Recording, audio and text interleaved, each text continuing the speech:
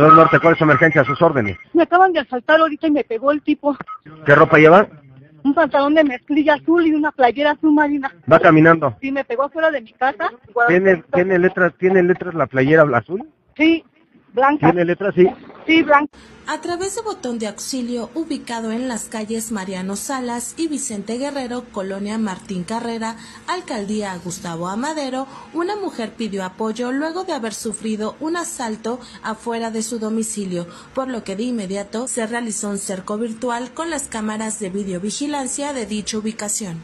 Los monitoristas realizaron el análisis de video de las cámaras aledañas donde se registraron los hechos.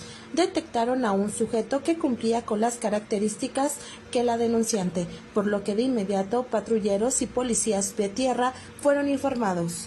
Tras ubicar al posible responsable sobre la calle José Joaquín Herrera, rumbo al poniente, los policías a bordo de una patrulla descendieron de su unidad y realizaron la detención conforme indica el protocolo de actuación policial.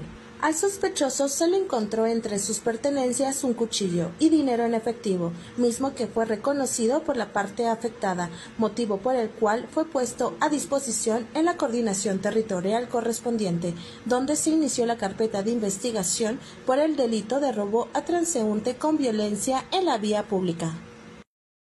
Con estas acciones, la Secretaría de Seguridad Ciudadana reitera su compromiso de servir para el bienestar y cuidado de la integridad física y patrimonial de los habitantes de la Ciudad de México.